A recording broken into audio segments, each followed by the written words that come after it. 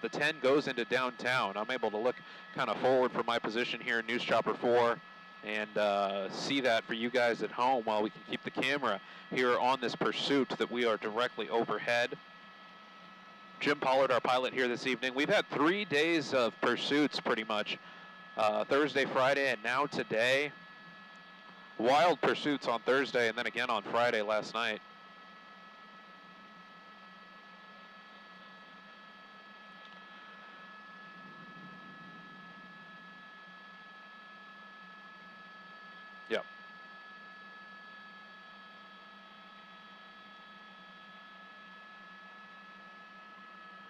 Understood.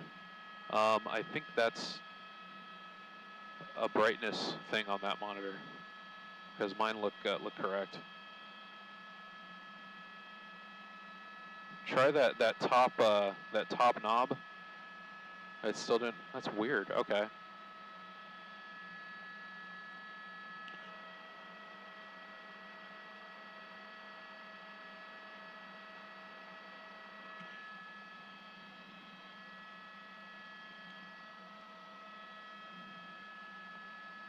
Let do that. How's that? I did have the uh, extender on, so thank you.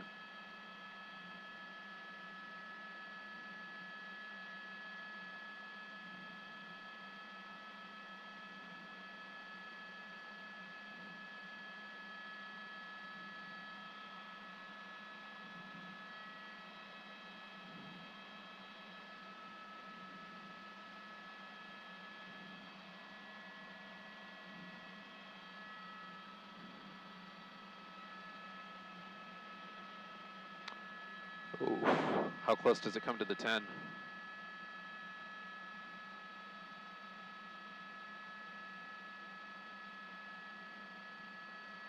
Okay.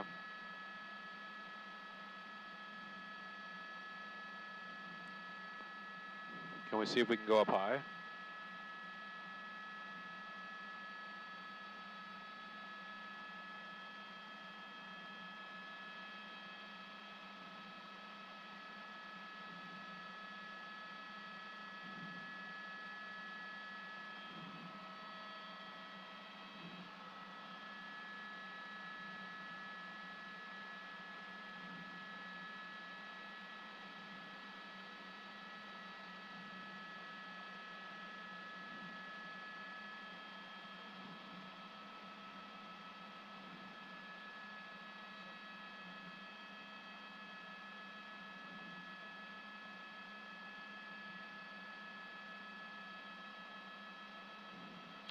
We're just monitoring a couple of things up here in News Chopper 4. Uh, we have the Dodger game here tonight. That uh, means that there's a little bit more restricted airspace in the downtown area as we head westbound on the 10 freeway in the Alhambra area. Oh, we have the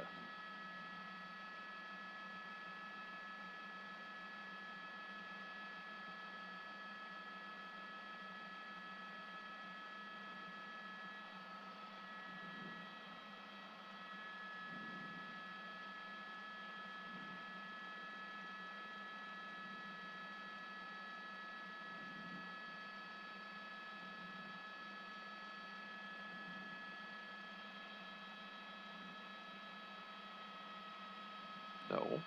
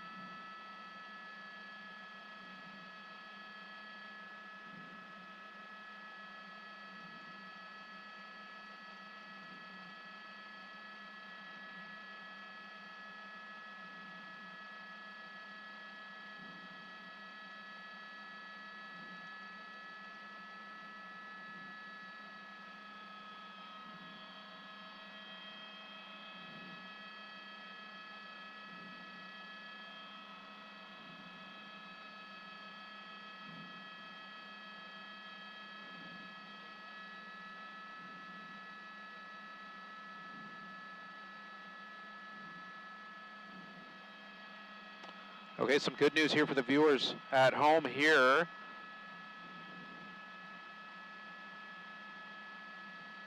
Just working through a few things with air traffic control here to manage our transition through the Dodgers restricted airspace.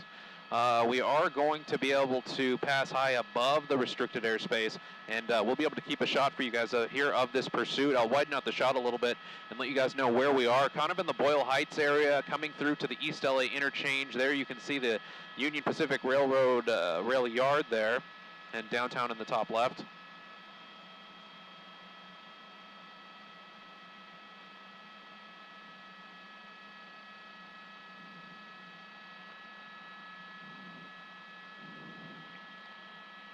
This is such an interesting uh,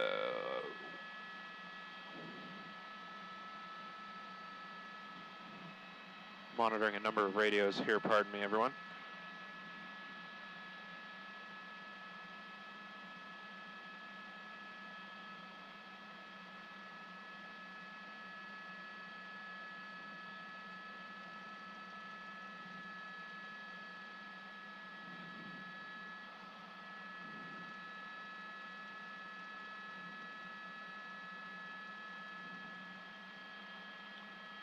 Okay, so uh, as we were saying, this is such an interesting portion of the LA freeway system. You have all these freeways kind of uh, coming to a merge here, and it'll be very interesting uh, to see what these suspects do who are probably not, you know, I'll go out on a limb and say they're probably not familiar with the LA freeway system, and now it looks like we're going to take an exit here. Well, look at that. We see these suspects exiting onto surface streets here in the Chinatown area, making a northbound turn into the downtown area. This is not, uh, you know, we're already dealing with the Dodger TFR here, and this is just going to make things a little bit more difficult. But now we might be getting back onto the freeway, and that looks to be the case. We got off the freeway and now back on the freeway, off and then off. And uh, my, what my guess is, what's going on here is that these suspects are probably not familiar with the LA freeway system. You know, they're going through downtown, uh, unsure where to go, unsure where this traffic is coming from. And CHP now is taking advantage of that and getting real close. Uh, but now you have uh, the question of how this suspect will behave in this heavy traffic. Monitoring some of the information from CHP right now.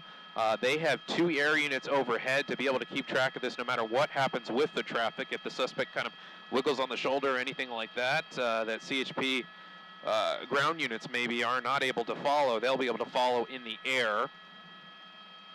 Another exit here coming up here, still in the downtown area. I'm going to widen out the shot here and see what uh, what this driver has ahead of him. This might be this might be the 110 south.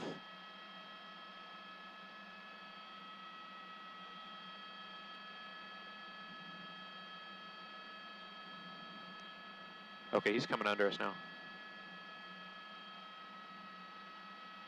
And we're going southbound 110, southbound 110.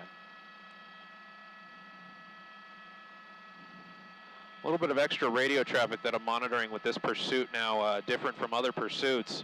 Uh, and that's just the dealing with the Dodgers TFR and uh, the multiple um, CHP air assets that they have overhead here.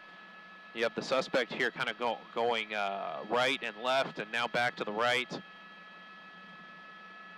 And uh, going back to what we were saying about the multiple airships over this pursuit, you do have a CHP plane over this. You have uh, two CHP helicopters over this as well.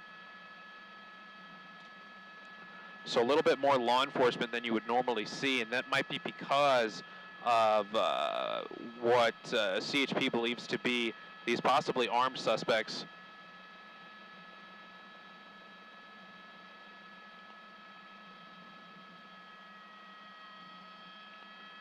And just a little bit of the excess danger that uh, these suspects might pose to officers.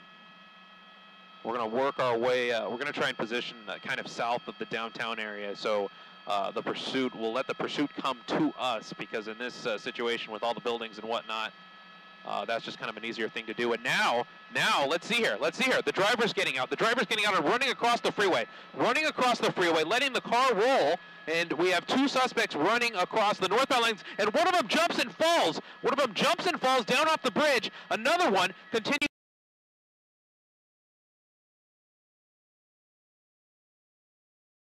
Don't even know what happened to that suspect that jumped and fell down off the on-ramp down below, but you have a number of CHP officers following behind, following this suspect here who is now running on the off-ramp from the 110 in the, uh, I believe that's in the northbound direction, and now this suspect's trying to make a run for it. Now running up in the hill, I'll turn on the uh, night vision up here on News Chopper 4. CHP has some lights there. It helps that he's wearing a white shirt. That's quite the hill there.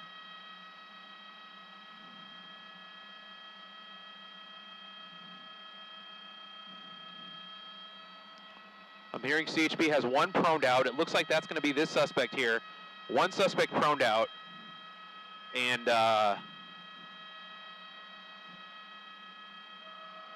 I'm not even going to point the direction in the other one that may have fallen off the bridge, or at least jumped off of the bridge from the 110 down to a street below. Not hearing any information from CHP on what happened yet to that suspect.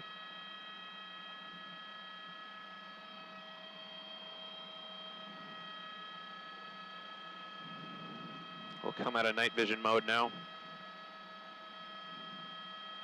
In the downtown area now.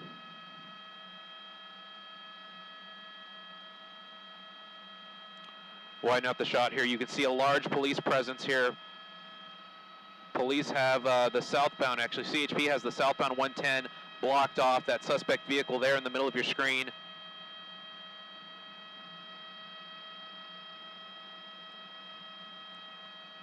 And uh, I'm not even sure if there are any law enforcement resources down there below the bridge.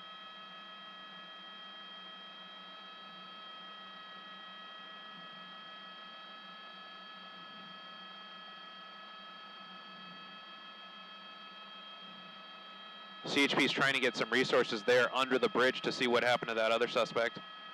And uh, here's suspect number two being taken into custody.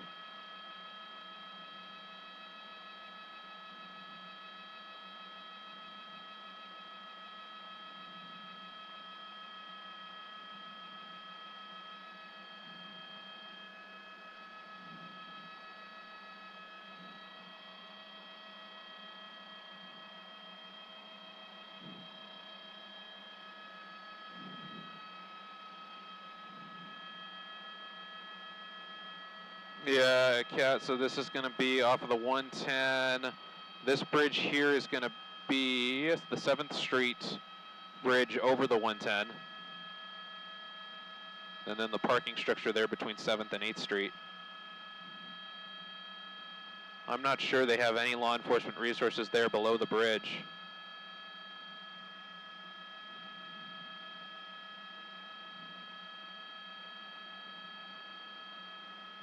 And this was a very peculiar one. The suspect just came to a stop here on the 110 freeway, and suspects made a run for it.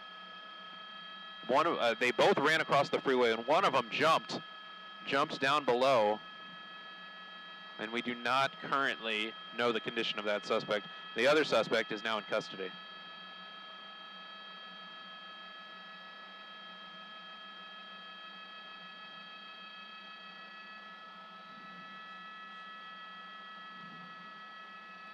Yeah.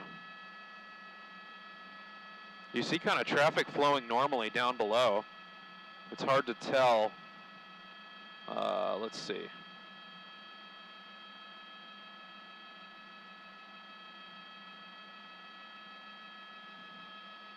Yeah, hold on, hold on.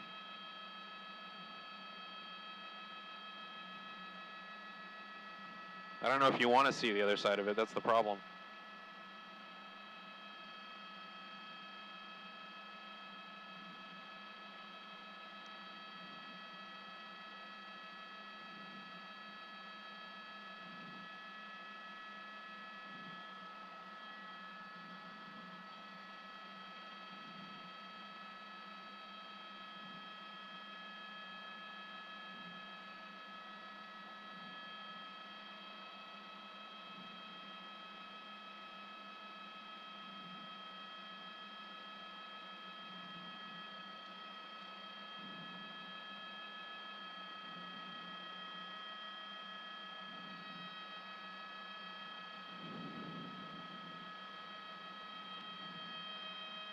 Do they know he jumped down below? Oh.